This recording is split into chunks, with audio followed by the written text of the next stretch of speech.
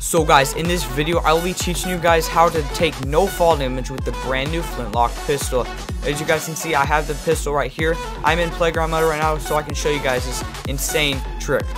So if you are on a super high height, just like I am, if I fall from this, I will 100% die.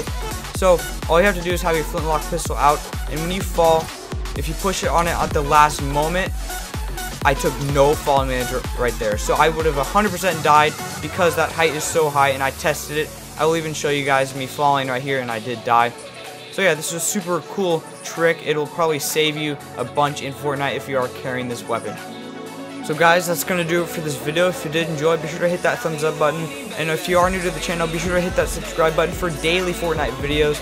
And guys, be sure to click the link below to check out my merch. If you guys buy any, be sure to DM me a picture of your checkout on Instagram or Twitter. And it does mean a lot to me if you buy my merch.